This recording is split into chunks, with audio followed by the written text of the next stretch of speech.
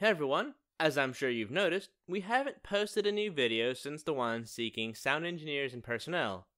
We have some bad news. We have yet to find anyone willing or able to help us on this project. The most likely reason is because it's a huge project that people seeing it are probably under the assumption that it'll be just like all of the other noble but doomed mega projects. So there's a little more bad news. We are putting Fallout Equestria on hold.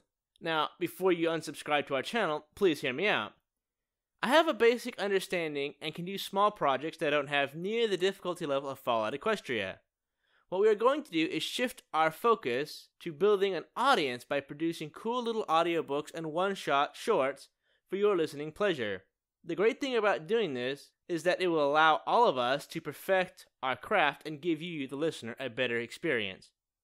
Speaking of getting you all involved, we would like to ask you all, our audience, what story we should make into an audio version.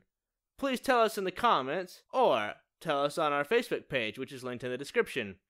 Now, as a reminder for the short stories, something between two to six thousand words is acceptable.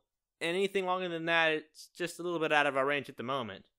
Now, be sure to keep checking in to see which story and fanfic wins. To do that, you might want to subscribe and like our Facebook page. Thank you guys, and have a great day.